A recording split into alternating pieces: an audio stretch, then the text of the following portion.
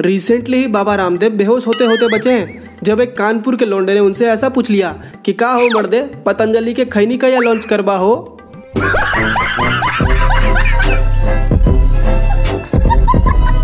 तो hey guys welcome to my channel एक बिहारी की तपस्या से खुश होकर भगवान ने उसको अमृत दिया।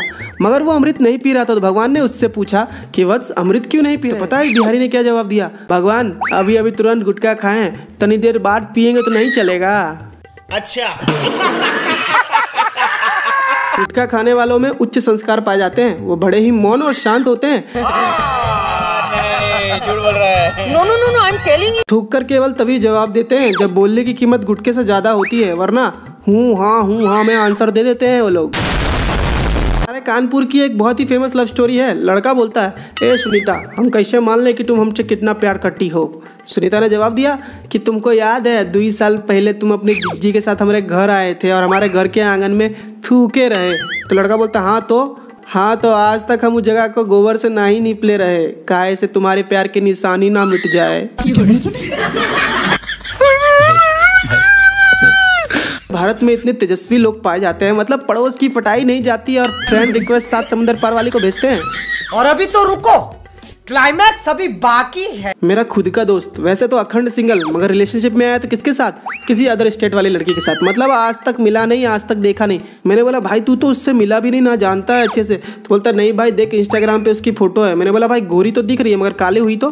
तो बोलता है, भाई, प्यार ये सब नहीं देखता। बोला, ठीक है, जाने दे, मगर ध्यान रखना। फिर बोलता है भाई, हम अगले हफ़्ते मिलने वाले हैं। मैं जा रहा हूँ उसके स्टेट उससे मिलने। हम वीडियोज़ भी बनाएँगे, उसने प्रॉमिस किया है। यही नहीं अभी और सुनिए। फाइनली वो दिन आया जब मेरा दोस्त उसके स्टेट में गया उस लड़की से मिलने के लिए। मैंने बोला भाई फ़ोन करके कि फ़ोटो वीडियो मेरे को भी भेज देखूँ तेरी बंदी कैसी है? एहे, रहा नहीं जाता। तड़प ही ऐसी है ना। नहीं, नहीं, नहीं, तो बड़ा सैड सैड होके बोला ठीक है भाई भेजता हूँ। मैंने वीडियो देखा। चुरा के ले जा भगा के ले जा उठा के ले जाया भाई प्यार अंधा होता है मगर इतना अंधा मतलब 250 किलो की बेबी और तू साले 250 ग्राम का? तो बोलता है, भाई, तू सही बोलता था ऑनलाइन रिलेशनशिप में आने से पहले मुझे सोचना चाहिए था। मैंने बोला साले चिल्ला चिल्ला के अरूप सोनी बोलता रहता है, सावधान इंडिया में कि सतर्क रहे, सावधान है, तुझे समझ में नहीं आता? इतना बड़ा क्या अखंड चूतिया पकड़ता है रे तू? अच्छा ठीक है, जो भी हुआ, चल शाम की टिकट कटा के वापस गुजरात आ जा। तो बोलता है, भाई, एक और प्रॉब्लम है। मैंने बोला अब बोल साले, क्या प्रॉब्लम है? चल बोल अब। तो बोलता है, भाई, मैंने आज शाम को बेबी को प्रॉमिस किया है कि मैं उसे गोद में उठा के पूरा गार्डन घुमाऊँगा। मैंने बोला, है, एक तो तेरी बेबी उठाई नहीं जा सकती। अगर तूने बेबी को उठाया तो तू उठ जाएगा। और दूसरी चीज़, तू उसे भगा के ले नहीं जा सकता। क्योंकि तू अगर भगाने की कोशिश करेगा तो भूकंप आ जाएगा, भाई।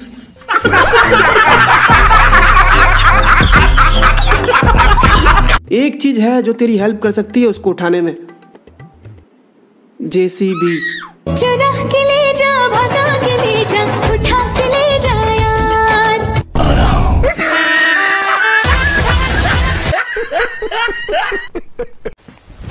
इमोशनल डैमेज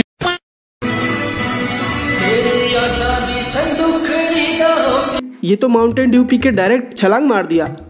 ऋतिक रोशन भाई साहब बोलते हैं माउंटेन ड्यू डर के आगे जीत है। ये भाई साहब भी बोलते होंगे क्या माउंटेन ड्यू डर की माँ की चूत।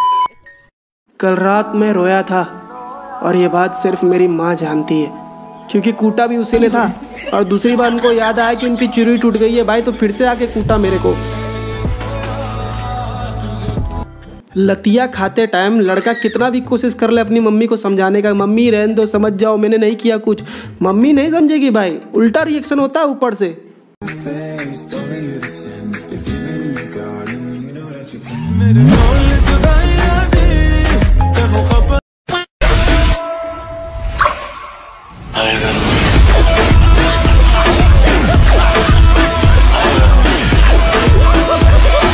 भाई साहब, दोस्त ऐसे ही होने चाहिए। जब आग लगे तो फायर ब्रिगेड बन जाए और जब गांड फटे तो टेलर बन जाए। ओके, जानो तू धीरे धीरे जरा दम लेना। प्यार से जो मिले गम लेना।